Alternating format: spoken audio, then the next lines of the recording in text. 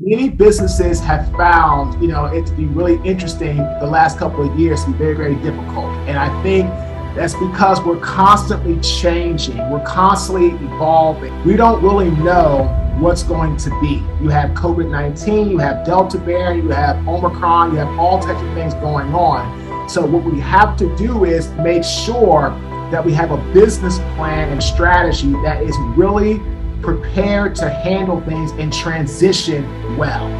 I tell people change and transition. Change is what's going on around you that you cannot control. We cannot deal or we cannot do anything about the change going on around us. But how we transition or adapt to the change, we can handle, we can prepare for, we can do something about focus on transitioning through a difficult change. Be prepared to do what you need to do to get where you want to go. I tell everyone you have to have strong emotional intelligence if you are going to be a successful business owner in today's climate, especially.